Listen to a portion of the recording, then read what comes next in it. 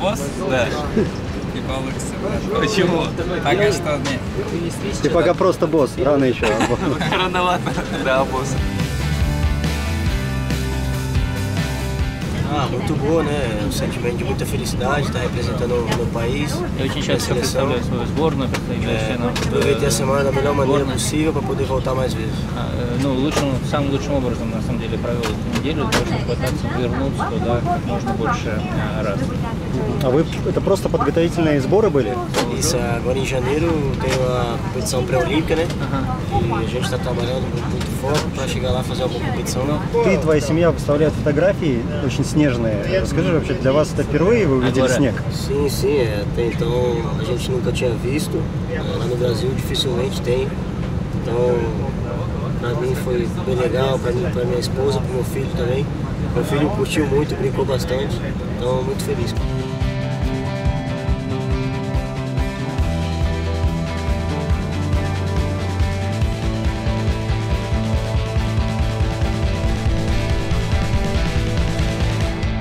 Эдуард Николаевич, сейчас едем до Ростова из Ставрополя. едем. Опять едем. Вы прекрасную какую-то новость такую прокинули здесь, что вы, мы проезжаем ваши родные края. Да, действительно, я когда мы когда с семьей переехали из Чечни, мы жили как раз э, в селе Новокульта Тарновского района, э, столицу которого, село Донское, мы будем прям проезжать. Я прям вот по этой трассе много лет э, ездил. Босиком ходили до Москвы. Ну, да, Москва, мне кажется, чуть в другом направлении находится, вот если прямо отсюда сейчас смотреть. Но в целом плюс-минус был готов, да. Ради Москвы на что только не пойдешь. На самом деле, если приезжаем в родные края, миллион раз здесь ездил, поэтому некоторая ностальгия присутствует. Вот. Ну, опять же, красот особых нет, как вы видите, но места, так сказать, скрепные, сильные духом. Красиво. Эдуард Николаевич, рядом с нами Петр Саныч Геллер, который долгое время болельщики могли знать, он сотрудник пресс-службы. Но сейчас он занимается в каком-то новом департаменте. Я даже давайте вы лучше скажете про его работу, вот нашим, наших болельщиков познакомим. Знаете, я в ЦСКА а, совсем недавно, там, практически с точки истории клуба буквально мгновение какое-то, но прям с первых дней я увидел в клубе людей, которые прям горят, горят ЦСКА, любят ЦСКА. И Петр Александрович был один из них. И в прошлом году он сам вышел с инициативой на к руководству клуба о том, что в клубе необходим департамент, условно под названием Play Care, а, департамент адаптации защиты футболистов, а, который бы помогал футболистам всех возрастов, от первой команды до самых младших ребят из академии, лучше адаптироваться к условиям проживания в Москве, решать какие-то их проблемы, связанные э, с, ну, с различными, с различными Быт, фа- быт, фактами. наверное, помогать, Ну, да. И быт в том числе, да. И я вам хочу сказать, что руководство пошло навстречу, департамент начал полноценно работать, и если вы читали интервью недавно э, агента э, Файз- Файзулаева, он как раз э, об этом говорил, что в клубе есть департамент, который действительно помог Абосу а, максимально быстро адаптироваться в Москве. Так что Петр Александрович Гиллер, можно сказать, э, напрямую повлиял на то, что Абос Файзулаев дважды подряд был лучшим футболистом нашего клуба, по мнению болельщиков. И, как показывает как раз Динамо, не исключено, что он три раза подряд был лучшим футболистом, по мнению болельщиков. Так что давайте все поблагодарим за это Петра Александровича и надеемся, он э, темп работы э, свой не сбавит и клуб будет ему помогать во всех его начинаниях. Мы только начали, да. Петр, теперь вопрос к тебе. Расскажи какой-то топ-3 запроса помощи футболистам, которым ты помог. Баха, когда он весной был травмирован, ему надо было поставить визу английскую, потому что они потом со сборной ехали в июне в Шотландию. А для этого надо паспорт было поставить в Казахстан. Я Северную Ирландию. дел- да, Северную Ирландию. А а он лететь не мог туда, потому что он восстанавливался активно, там нельзя было паузу делать. Я у него взял э, его паспорт, взял номер менеджера сборной Казахстана. Мы все с ним организовали, я просто Бахе вернул паспорт с визой, и ему даже не пришлось ни о чем думать и забыться. Все. И он потом восстановился, полетел в Ирландию, они там, не помню, Это выиграли. все, чем, чем сравнивают, с чем сталкиваются наши футболисты. Теперь, Петя, ты звонят тебе, говорят, и мы напрямую По сути, поможем. да. И это они чувствуют себя как дома, как в ЦСКА, как и должны чувствовать. Это и есть задача, да. На самом деле, Константинович скромный человек просто, но я хочу сказать, что у него у каждого матча это вообще квест. А, Например, фан ID, может об этом не скажешь, но я знаю. А, Наши футболисты иностранные, их семьи там на одном из матчей последних в первый раз пошли на футбол.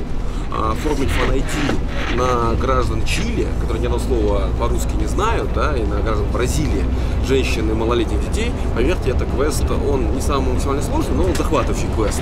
И Петр Александрович вместе э, с Иваном Улановым, вместе с другими работниками нашего клуба максимально в него погрузились. И поверьте, поверьте, э, они потратили на это много времени, чтобы максимально комфортно для футболистов и их семей оформить фан По большому счету, с минимальным их вовлечением в этот непростой процесс.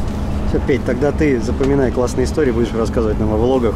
Постараюсь. Какие там снег почистить кому-то, может быть, надо кто-то впервые увидел, что как с ним бороться или еще что-то. С удовольствием послушаем. Спасибо, ребята, хорошей дороги. Вот Донское проезжаем. Нет? Нет, не Донское, обижаете. Донское, правда, его ни с чем не спутать. Донское это как, знаете, вот справа будет районная больница, это прям вот аналог Красной площади, а слева будет э, бензоколонка.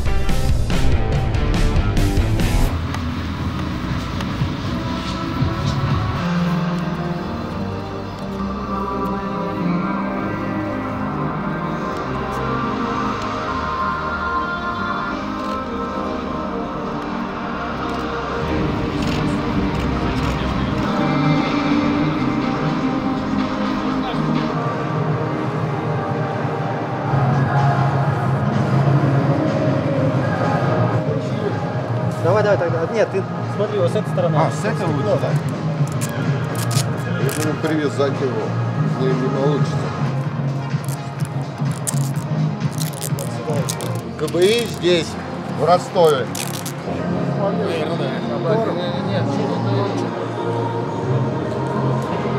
Ну, у меня брат старший болеет за ЦСКА, и по семейным ценностям привилось вот так и пошло. Так, и ты и девушку привел, И- да? а я девушку при- начал приводить на футбол, и, соответственно, Я тоже начала, она начала болеть ЦСКА. ЦСКА всегда будет первым. Ну, в Ростове еще вторая команда СКА называется. И когда ты с детства красно-синий, ну тут сам Бог велел. ЦСКА всегда будет первым.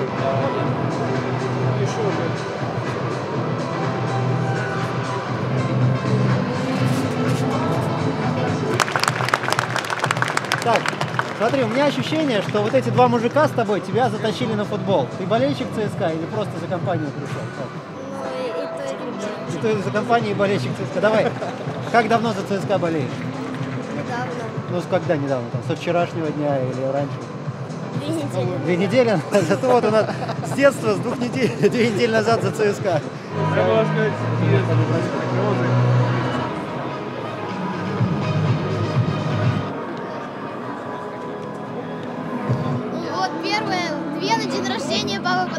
Так, как зовут их? Это лошадь, это коняш. Да, Они сегодня с тобой поддерживают ЦСКА, да? Да. Давай, а ты откуда сам? А, Я сам из так Чебоксар, но я сейчас живу в Краснодаре. И гоняешь на выезды за ЦСКА с папой? Да. А вам что, еще не надо скотч? Вот,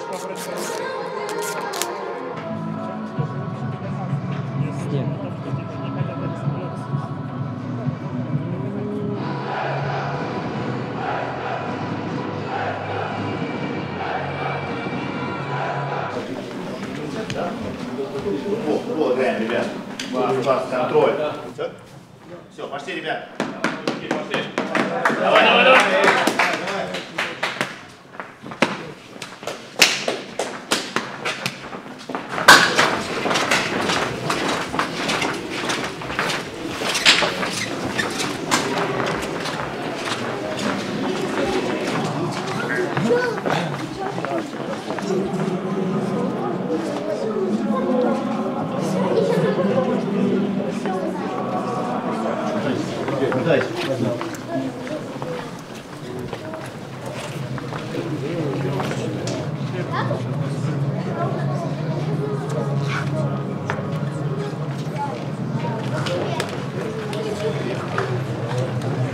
Все,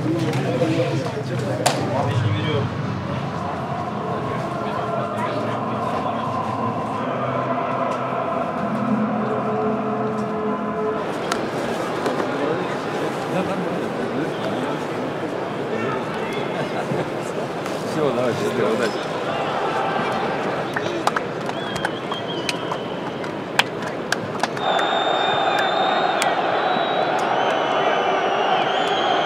Ну, как мы узнали, около 500 армейцев сегодня приехали поддержать команду Ростов.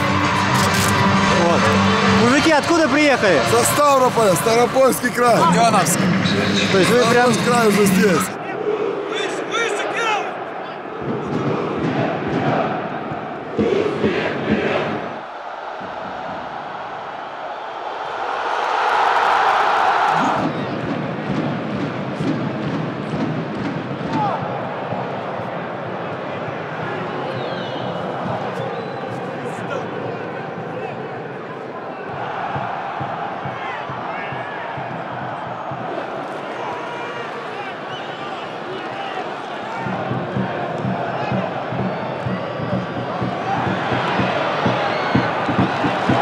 Так, расскажите, что это за прекрасная девочка такая?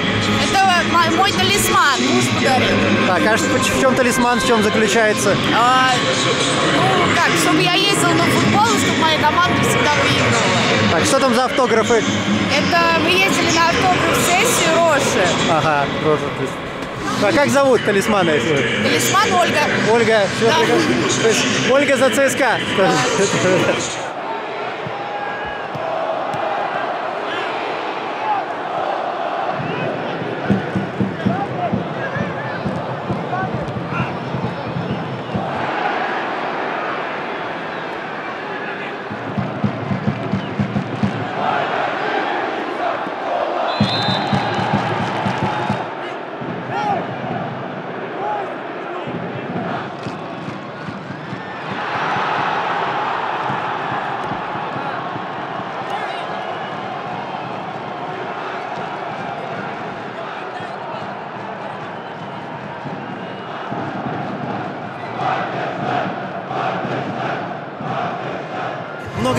болельщиков, которые постоянно ездят. И так я встретил ребят, где кое-кто приехал впервые. Здрасте. Расскажите, пожалуйста, вас вы привезли дочку первый раз на матч? Очень захотела посмотреть, что такое выезд. Куда ездит Вот папа постоянно? Ощутить, да. Не, ну пап не постоянно, но вывез первый раз. Так, ну расскажи, что ждешь? Победу. Побе- А трибуны от сектора что ждешь? Ты кричать будешь сегодня громче всех? Все. Надеюсь, я, мы с тобой увидимся, когда у тебя скоро еще будет сотый выезд. И ты скажешь, вот помнишь меня?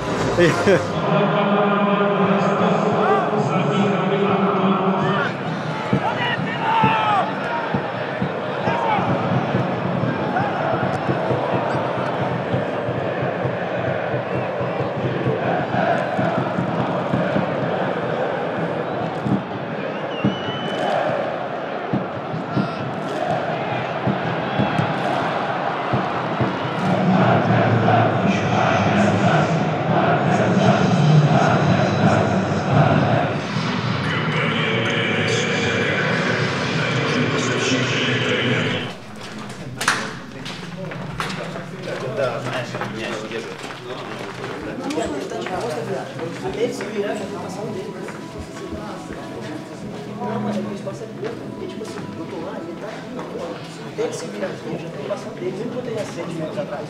Mas tem uma mudança de velocidade que a gente.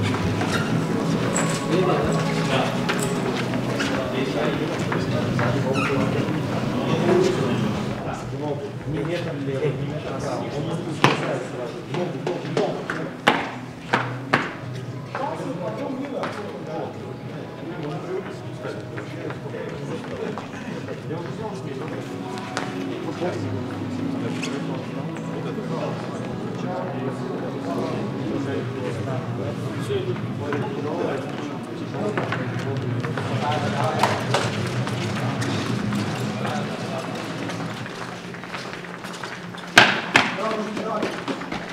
Привет. Привет. Как тебя зовут? Дмитрий. Мим, ты наш болельщик из Ростова, да? 2003 года. Так, а почему нет атрибутики? Почему ты? Опаздывал, очень спешил, начал искать бегом, бегом, еще не от не самого Ростова, с области, поэтому Да, ехал. и, Красавец, блин, я тебе скажу, скажу спасибо, что приехал вообще. Спасибо, Вам что- спасибо. Вы приезжайте, давайте атмосферу создавайте такую же, как, как без красно-синих цветов в Ростове быть. Ты на каждый матч ходишь? Да, конечно, Да. конечно.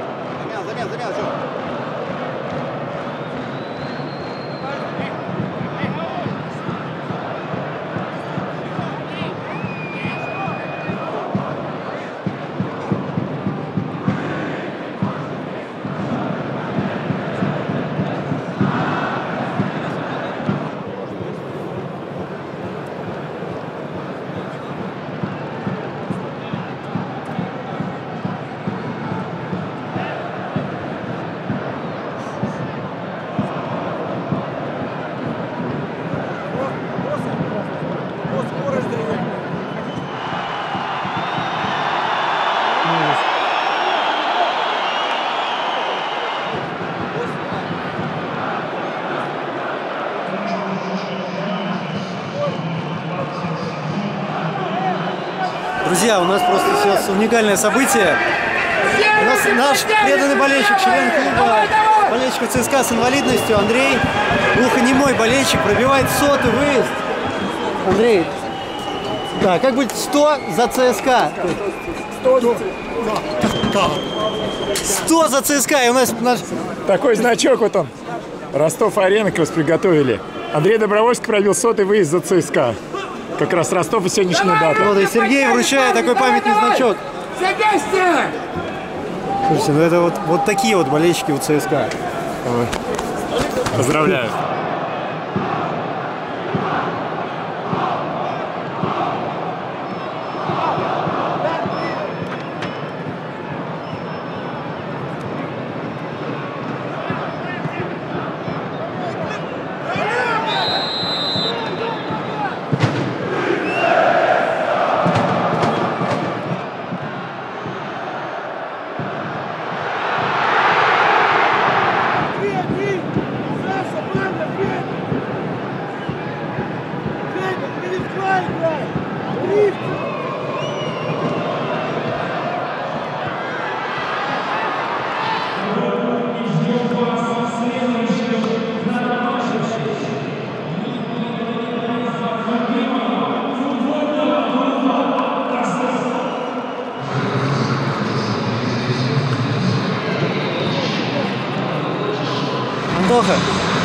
Прошу у тебя, как, как, как у тебя, что за связь с обоссом у тебя? Такая сильная. Это командная работа называется, командная игра. Ничего большего. Ну, пасы прям точно в голову летят. Классно, вы прям, он, он знает, где ты будет стоять. Ну так и это хорошо. Самое главное, положительный результат, результат и все.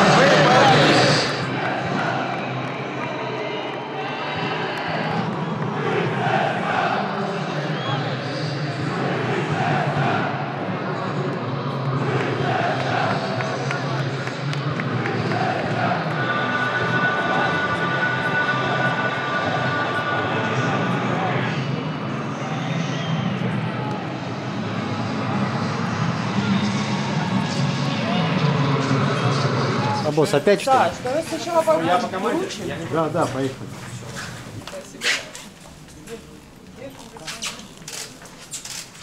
Какая по счету награда, вспомнишь? Наверное, четвертая. Да, по-моему, больше. Тут сейчас в команде шутили, что, возможно, у тебя родственники голосуют, там сверху принимают решение. Не, заслуженно, красавчик. Ну, не знаю. Спасибо.